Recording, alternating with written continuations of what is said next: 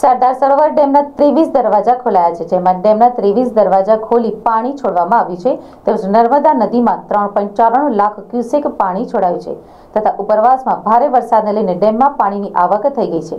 તેમજ ડેમમાં ચાર પોઈન્ટ ચુમ્માલીસ લાખ ક્યુસેક પાણીની આવક થઈ છે અને નર્મદા ડેમની જળ સપાટી એકસો પાંત્રીસ પોઈન્ટ અઠ્ઠાણું મીટરે પહોંચી છે.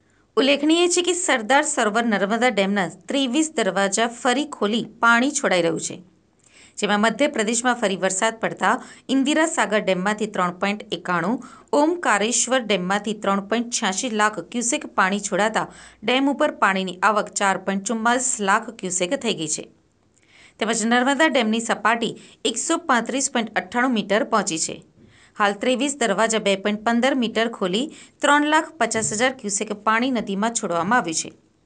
તેમજ રિવર બેડ પાવર હાઉસના છ વીજ મથક ચાલુ કરી ચુમ્માલીસ હજાર ક્યુસેક પાણી નદીમાં છોડાતા નર્મદા નદીમાં કુલ ત્રણ પોઈન્ટ ચોરાણું લાખ ક્યુસેક પાણી છોડાઈ રહ્યું છે. જેમાં આસપાસના ગામોને એલર્ટ આપવામાં આવ્યું છે તથા સ્થાનિકોને સલામત સ્થળે ખસેડવામાં આવ્યા છે. તથા લોકોને પાણી જોવા ડેમની આસપાસ ન જવા સૂચના પણ આપવામાં આવી છે.